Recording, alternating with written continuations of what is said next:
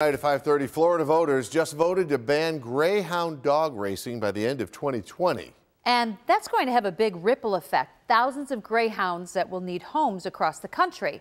And as Two on Your Side's Jeff Preval reports, a local group is already getting calls about bringing some of them to Western New York. Florida voters approved overwhelmingly to ban greyhound racing by the end of 2020. Animal rights groups called for the ban, racetracks opposed it. A state report found that Florida's greyhound dog racing industry was actually causing the state to lose money. I was stunned that it passed. With the future ban, greyhound adoption groups such as the Greyhound Action League in Cheektowaga have been getting calls about whether they can adopt. We've had a few inquiries about actually adopting a greyhound. I have um, an owner that has dogs in several states, including Florida, and he has reached out to me. What position has this change now put owners and breeders in, do you think?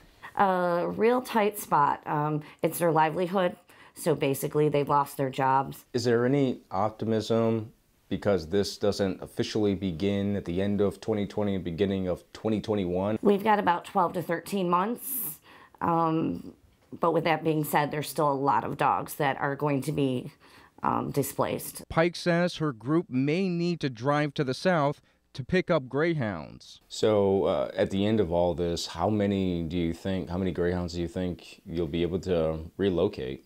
Um, our group alone, um, you know, we're hoping to help with possibly 20 dogs. Where's your heart and your mind going to be at, you know, in this process? Uh, about the dog, it's always the dog first. Now, if you have any questions about adopting, you can reach out to the Greyhound Action League of Buffalo. I've tweeted out a link to their website. Reporting live, I'm Jeff Preval, Channel 2 News.